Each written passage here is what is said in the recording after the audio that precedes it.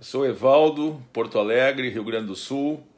Estou vindo aqui no Francis Swim para desejar um Feliz Natal, bom ano novo para todos os amigos e parceiros e que nesse próximo ano de 2021 a gente se encontre nos mares, rios e lagoas desse nosso Brasil afora. Beijo grande a todos e boas braçadas.